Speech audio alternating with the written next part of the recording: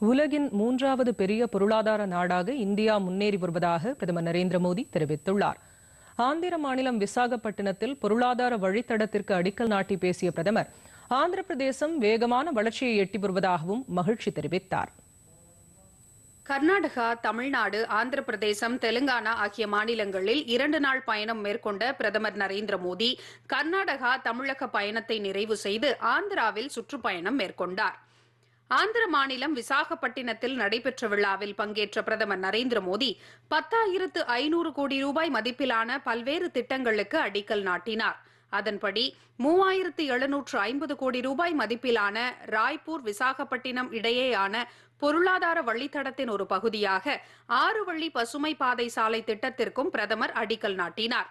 விழாவில் பேசிய அவர் கல்வி தொழிற்சாலைகள் தொடங்குவது தொழில்நுட்பம் மருத்துவம் உள்ளிட்ட அனைத்து துறைகளிலும் ஆந்திர மாநிலம் முக்கிய பங்காற்றி வருவதாக குறிப்பிட்டார். மேற்கு ஆசியா முதல் ரோம் வரை இந்திய வர்த்தகத்தை மேம்படுத்துவதில் விசாகப்பட்டினம் நகரம் முக்கிய பங்காற்றி வருவதாக பிரதமர் கூறினார். அனைவரையும் உள்ளடக்கிய வளர்ச்சி என்ற நோக்கில் நவீன உள்கட்டமைப்பை ஏற்படுத்தி இந்தியா முன்னேற்ற பாதையில் பயணித்து வருவதாக பிரதமர் நரேந்திர மோடி தெரிவித்துள்ளார்.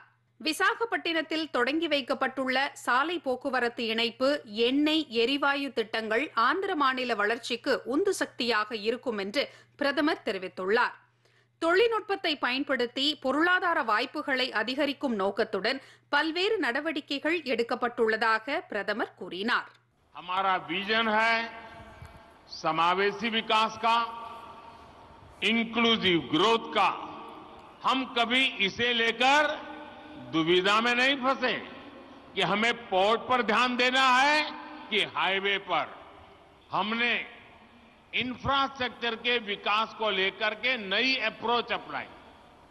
हमने विकास के इंटीग्रेटेड व्यू को महत्व दिया। आज जिस इकोनॉमिक कॉरिडोर की नींव रखी गई है, उसमें छह लेन वाली सड़क का प्रावधान है।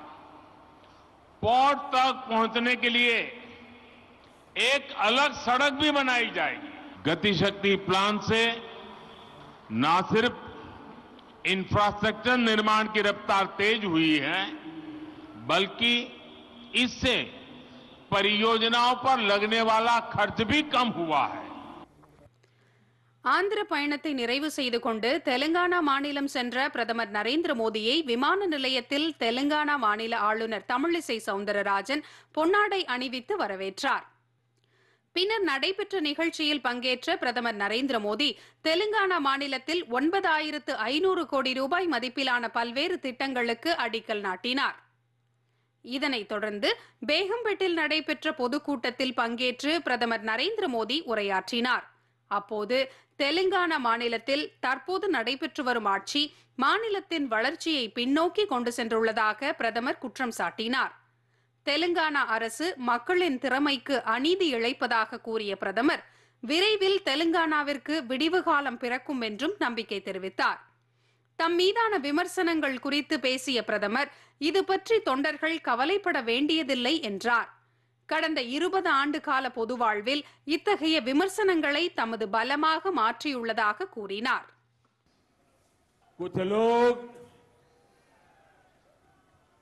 कार्रवाई से बचने के लिए एकजुट होने का प्रयास कर रहे हैं भ्रष्टाचारियों का गठजोड़ बनाने का प्रयास कर रहे हैं लेकिन तेलंगाना की जनता देश की जनता, ये देख भी रही है, समझ भी रही है।